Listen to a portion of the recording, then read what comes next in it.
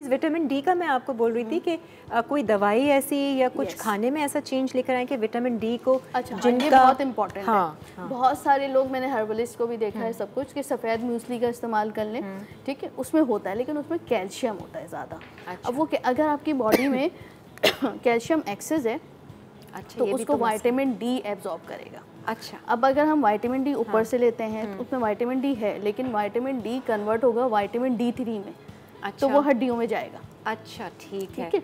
तो vitamin D three हमें as a supplement ही खाना ज़रूरी है। तो ये जैसे बाहर की या लोकल आती हैं आई थिंक कैल्सब है हम्म। उसमें भी कुछ बहुत सारी मिलती हैं बहुत सारी हैं। तो हम हम क्या चीज़ देख कर लें कि उसमें डी थ्री लिखा हो क्या वाइटामिन डी थ्री लिखा हो उससे जस्ट वाइटामिन डी ना हो। ठीक है। क्योंकि बॉडी को विटामिन डी थ्री चाहिए। ठीक और ये खाली खाएँ या कैल्शियम की गोली भी साथ में साथ में कैल्शियम अगर आपकी कम है हाँ। दूध का इंटेक कम है तो केले का इंटेक कम है तो फिर आपको कैल्शियम की गोली के साथ देना ज़रूरी और अब तो कॉम्बिनेशन आते हैं। अच्छा। जिनमें वाइटामिन डी थ्री भी होता है कैल्शियम जिंक मैग्नीशियम सब के टू और ये भी बिल्कुल। K two is very good for heart health अच्छा ठीक है। और K two also help in vitamin D three absorption अच्छा। तो इट्स वेरी गुड और खाने में कोई ऐसी चीज़ खाने में आप मछली का इस्तेमाल बहुत अच्छा करना चाहिए और जो है मशरूम्स में जो है होता है हाँ। जितनी भी वो चीज़ें जो सूरज में पकती हैं अच्छा। और नारियल। अच्छा। प्योर फॉर्म इज़ नारियल। नारियल का पानी नारियल का दूध। मिसेस खलील आपका कोई ऐसा मसला है गर्मियों में? कोई एक डैंड्रफ डैंड्रफ लोगों को बहुत ज़्यादा पसीना मुझे बहुत आता है। आप ये चेक करवाइए अपना।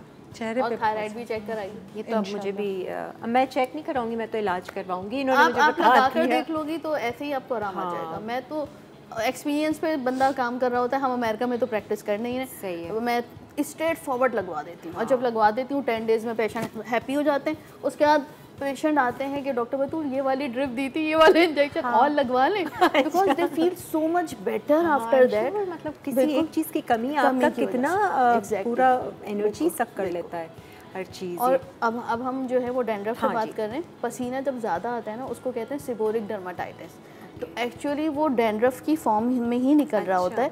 लेकिन अगर आप पसीना सही कर लेंगे हाँ। उसकी प्रॉब्लम सॉर्ट आउट हो जाएगी तो डेंड्रफ नहीं अच्छा ठीक तो है? उसके लिए बहुत आसान सी रेसिपी हाँ। ये कि खीरा बहुत अच्छा मौजूद है। हम्म। खीरे का पानी आपने निकाल लेना ब्लेंडर में डालकर थोड़ा सा आपने चलाया उसको छान लिया। अच्छा। छानने के बाद आप उसे बॉटल में भर के रख दीजिए। हाँ। उसमें सिर्फ़ आपने डालना है rosemary oil rosemary oil thirty M की इतनी सी बॉटल मिलती है। अगर आप हंड्रेड एम बना रहे हैं स्प्रे हाँ। बॉटल में तो डाल दीजिए और हाँ। उसको फ्रिज में रख दीजिए। अच्छा। आपने बालों को सेक्शन खोल खोल के अच्छी तरह मसाज करना है स्प्रे हम्म। करना है। अच्छा। ठीक? लगा के छोड़ दिया। अच्छा वाटर बेस्ड है बिल्कुल सिरम बिल्कुल भी ऑयली नहीं होंगे बाल।